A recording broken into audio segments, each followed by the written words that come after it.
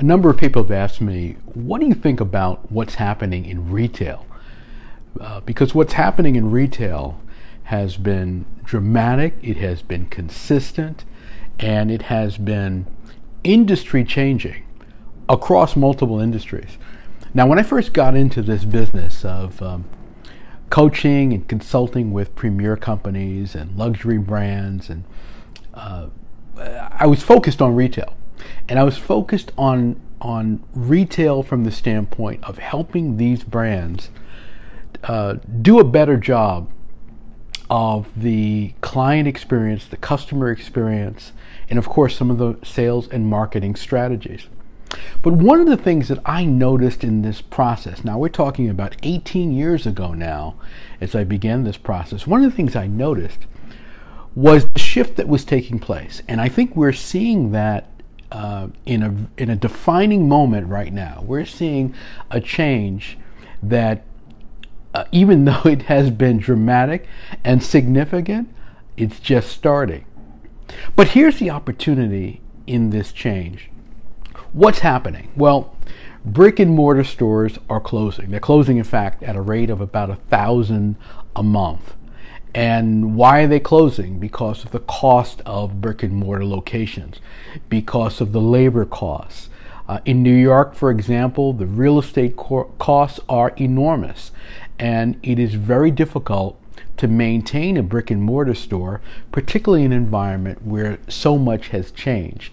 Well, what's changed? Well, first of all, the consumers' uh, taste have changed.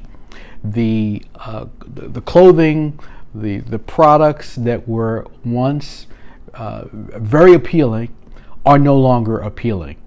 Everyone is dressing down when it comes to work, and uh, as a result, people who sold uh, high fashion, formal clothing, uh, very expensive clothing are not seeing the kind of attention and attraction that they once saw. Now, the other thing that's happening is obviously behavior. Behavior has changed. Not only buying behavior because of shifting tastes, but how one buys what they want. They're going online, they are buying on their phone, and as a result, retailers that have major investments in real estate are struggling. And the third factor is competition. There are a lot more brands now that are in business, and the consumer has a lot more to choose from. So, what you're really seeing here is a dramatic shift in business models. It's a very different mo- business model than it was um, uh, not that long ago, in fact, but certainly from the time that when I began this process. Now, that is can be discouraging if you're in retail, but it can also be exciting because even though models have shifted, there's something that we know has not shifted. People are still going to buy products and services. They're still going to buy at the retail level. They may not walk into the store, but they're going to buy directly from a brand somehow.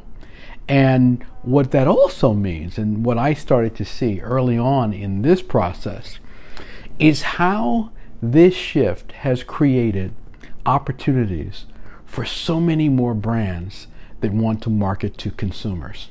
In fact, consumers don't care much anymore about one brand over another if you can satisfy their needs and they feel good about the product and service and they understand what it is that you offer and you can deliver to them the way they want it uh, conveniently, which is often online and through delivery, and uh, they get great value. So what does that mean? That means that all of these brands that are that seem to be dying have to shift their focus. They have to reinvent themselves. And this is a time of great opportunity if you are working in a retail establishment or if you are growing a business uh, where you're catering to clients and customers and you want to get some of this business that is uh, out there up for grabs because of the retailers going away. So, what are the things that I recommend for retailers today, particularly high end retailers, to tackle this challenge where retail is, seems to be quite challenged, but in fact, there are great opportunities?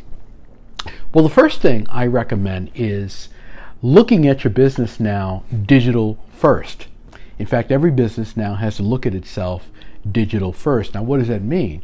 First is, you know, how will my product or service show up on, my, on this phone? How will I sell this on a website? Uh, how do I approach what I'm doing from the standpoint of the person who meets me through this device or some other device, whether it's a tablet, whether it's a computer? Um, that's number one. And you can see right away why the brick and mortar uh, businesses have a challenge because their focus has been physical first, our physical location. We have to have a headquarters, we have to have a flagship, we have to have multiple stores in, in, in these cities, and we have to then uh, cater and, and send physical products to those locations to accommodate those people who are coming into those physical locations. Well, they're not coming into those locations anymore. They're they're they're shopping online. They're, they're, looking, they're they're swiping and saying, "Oh, that looks interesting. Let me order that," and it's coming to their door. Uh, it's an incredible time in in what's happening. So the step number one is to think digital first. Step number two is really a branding, a leveraging step, and that is uh, leveraging your brand as an attractor. Understanding that this effort you put into brand building uh, is is important. This is not a uh, insignificant thing that you've done, and this effort that you've put into brand building your brand can be a great attractor. And so when you go online and you see a brand that you're familiar with, uh, you're going to say, oh, let's see what they have to offer. Let's see what this one has to offer. And that's where these larger entities can really do a great job is of carrying forward their brand. Now, how do they do that? That's step number three. Step number three is about understanding the importance of storytelling. So many brands today essentially are saying, buy this at this price, buy this at this price, click here and buy this.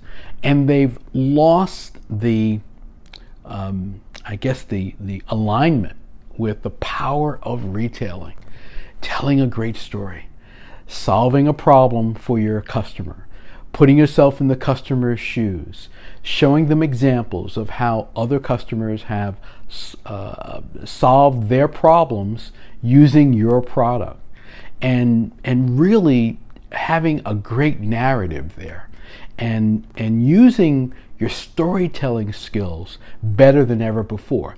That's where brands that have already established uh, a name and where uh, consumers know who they are can really excel in this environment because you don't have to invent something that doesn't exist. You don't have to uh, just pound the consumer over and over again to give them familiarity. You have a legacy that you can build on. And so that's really key is understanding that now tell that story powerfully online and and and use your brand to attract people to that story. But always storytelling every day every day every day.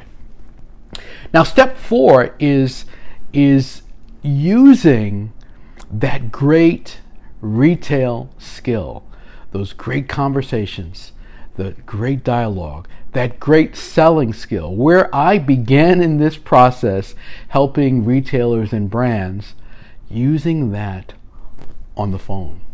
Using that on the phone and using it online to give people a great experience, a great digital experience, using the skills that you have. Um, I was working with a brand that was um, an arts and entertainment brand, uh, world renowned. And when they would call on the phone and say, invite you to get a subscription to their new season, the idea that they were calling you directly at home. It just felt so prestigious and so significant. And so many brands miss that opportunity.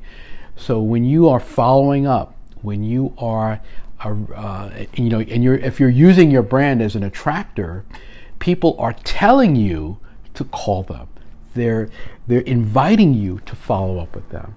When you follow up with them, that's when you can give them this incredible high-end luxury, compelling, distinctive experience. So that's step number 4. And step number 5 is there still is value in having a footprint, a physical footprint. But that physical footprint will often be a pop up store, it'll be temporary, it'll be certainly nowhere near the ambitions of many retailers. Uh, the, re- the, retailers have had in, in many years.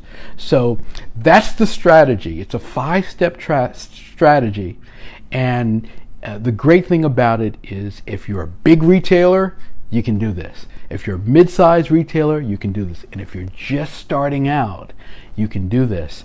And you can have an impact in a market where consumer tastes and behavior have, have shifted so dramatically that there are great opportunities opening for you.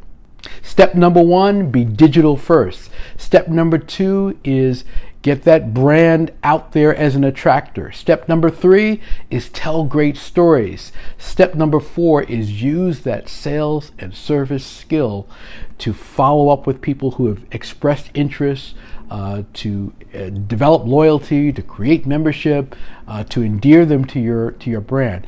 And step number five is think about how you can strategically uh, use a physical footprint to connect with consumers and to build your brand and revenue. If you like this tip, give me a thumbs up. Let me know that you liked it. Share it with someone in your network. Make sure you subscribe to my channel, and I'll see you next time.